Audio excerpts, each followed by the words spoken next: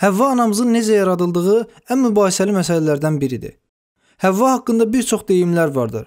Ancaq eyni zamanda bunlar arasında qadınları kiçimsəmək və alçaltmaq üçün söylənilən, onları yaradılış etibarilə əksik göstərməyə çalışılan çox həssas fikirlər də vardır. Və bütün bu fikirlər İncildə Həvvanın xüsusi olaraq Adəm əleyhissalamın qabırğasından yaradılması haqqında məlumatlardan gəlir.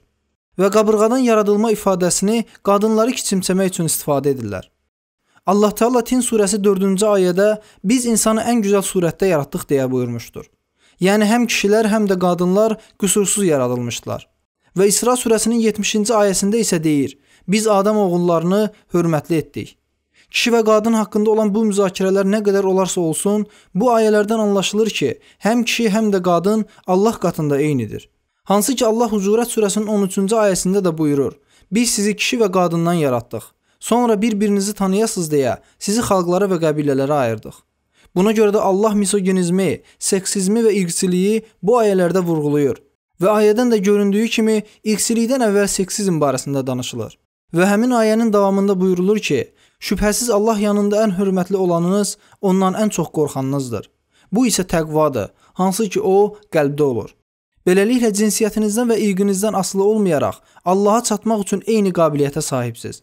Yaxşı, bəs Həvva anamız nədən yaradılmışdır? Allah Teala Nisa surəsinin 1-ci ayəsində sizi tək bir candan xəlq edən, onun özündən zövcəsini yaradan deyə qeyd edir. Bəs bu nə mənaya gəlir? İslam alimlərinin əksəriyyəti bu mövzuda Həvvanın Adəmdən yaradıldığını deyir. Bəzi alimlər isə deyir ki, o Adəm əleyhissalamın yarandığı eyni şeydən, palçıqdan yaradılmışdır. Bununla bağlı əlimizdə olan ən əsas dəlil isə Səhih Əl-Buxaridə nəql edilən Peyğəmbər sallallahu alayhi və səlləmin söylədiyi hədislərdir hansı ki o qadın qabırğadan yaradıldı deyir. Peyğəmbərimiz bu hədisdə deyir ki, qadın qabırğadan yaradılıb. Bəs burada peyğəmbər bənzətmə olaraqmı danışırdı, yoxsa sözün həqiqi mənasında onu digər hədislərindən anlaya bilirik? Səhih Əl-Buxaridəki digər bir hədisdə peyğəmbər sallallahu alayhi və səlləm belə demişdir: Qadın qabırğa kimidir. Düzəltməyə çalışsan, onu sındırarsan. Başqa bir hədis isə vida xutbəsindəndir. Peyğəmbər sallallahu alayhi və səlləm vida xutbəsində qadınlar haqqında danışarkən çox önəmli sözlər demişdir. O buyurur ki, qadınlarınızla yaxşı rəftar edin. Həqiqətən qadın bir qabırğadan yaradıldı. Qabırğanın ən həssas hissəsi isə onun üst tərəfidir. Diqqət etsək görərik ki, peyğəmbərimiz qadınlar haqqında danışarkən qadın qabırğanın əyilmiş hissəsidir deməmişdir. Sadəcə dedi ki, qadın qabırğadan yaradılmışdır və qabırğanın ən əyri hissəsi onun üst hissəsidir. Düzəltməyə çalışsan, sındırarsan.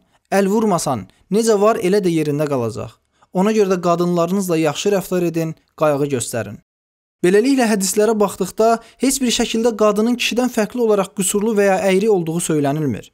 Bir sözlə nə Həvva anamız, nə də digər qadınlar heç biri nə qüsurludur, nə də əksik. İslamda bu cür konsepsiya yoxdur.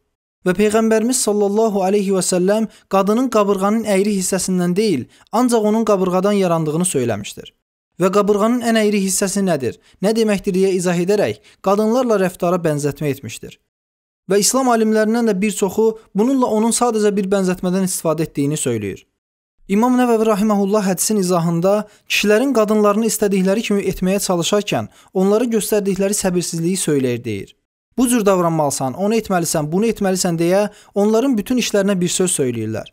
Təbii ki, burada söhbət haramlardan və ya qadağan olunmuş mövzulardan getmir. Sadəcə siz yoldaşınızın istədiyiniz şəkildə olmasını istəyirsiniz. Amma Rasulullah sallallahu alayhi və səlləm buyurur ki, siz mükəmməl olmadığınız kimi qadınlarınız da mükəmməl olmayacaq.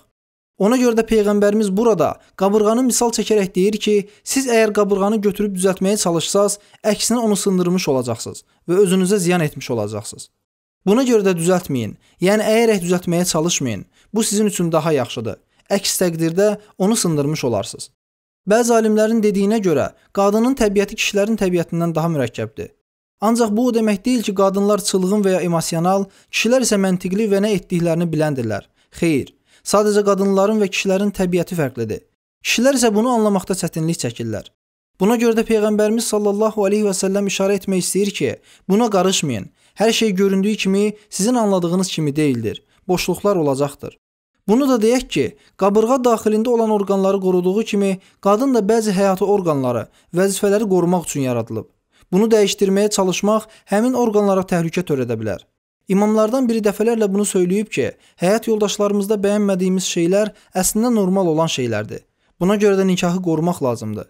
Və Nisa surəsində Allah Teala buyurur ki, əgər onlar xoşunuza gəlmirsə, ola bilsin ki, xoşlamadığınız bir şeydə Allah sizə çoxlu xeyir nəsib etmiş olsun.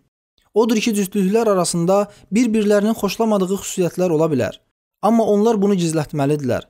Bəli, hər şeyi öz yerində saxlamaq budur və bu şeylərdə əslində çox xeyir vardır. Bir sözlə, qadının qabırğadan yaradılması ifadəsi əslində qadının qüsurlu olduğu anlamına gəlmir. Peyğəmbərimiz sallallahu alayhi və səlləm bir misalda çəkir. Deyir ki, yoldaşını dəyişdirməyə çalışma. Onu istədiyin kimi formalaşdır, başa düş, şəfqətli ol. Hər birimizin çatışmazlıqlarımız var və həyatda yoldaşlarımızdan mükəmməllik gözləməməliyik. Bunun əvəzində bu çatışmazlıqlarla birgə mübarizə aparmalı, birlikdə irəliləməli, səbirli və bir-birimizə qarşı xoşrəftar olmalıyıq. Bu tipdə daha çox video üçün YouTube-da Bəyyinə kanalına abunə olmağı unutmayın.